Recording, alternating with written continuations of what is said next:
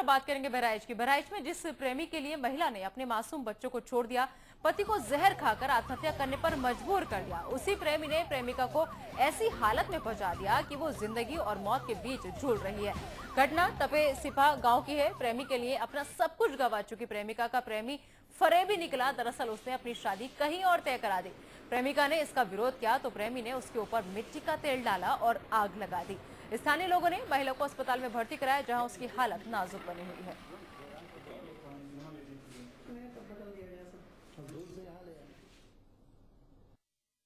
तपे सिपा जरवल रोड के अंतर्गत आता है। वहाँ पर एक महिला को जलाने का मामला सामने आया है और इस संबंध में उनका अभियोग पंजीकृत कराया गया है और उसके आवश्यक कार्रवाई की है फिर पता चला है कि उनका आपस में संबंध था।